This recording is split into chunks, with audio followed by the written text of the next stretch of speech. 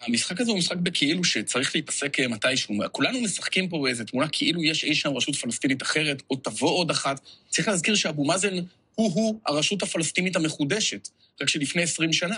הוא היה הפנים המתונות, כי הוא רק הכחיש שואה ולא אה, אה, היה מעורב אה, בפיגועים ממש. הם רוצים אגב את סלאם פיאד. אה, גם זה ניסינו ב-2004 לדעתי, והוא לא שרד יותר אה, מחודשיים כן. אה, בתור ראש הממשלה, לדעתי התפטר אחרי אחד הפיגועים. עכשיו תראה, אה, אני רוצה להזכיר מי זה ממשל ביידן בהקשר הזה, לא בהקשר של תמיכה בישראל בשעת צרה.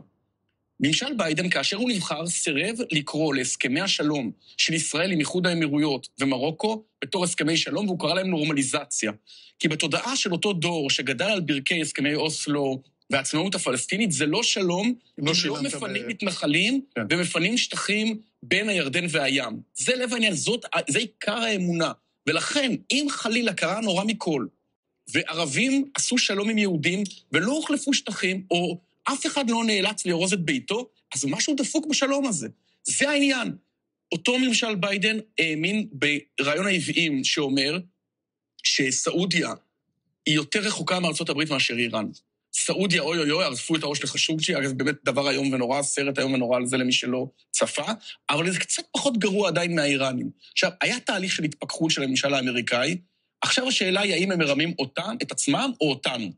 אם מדובר באיזושהי תרמית כלל אזורית, רק כדי להשיא, להביא נורמליזציה עם סעודיה, יש על מה לדבר.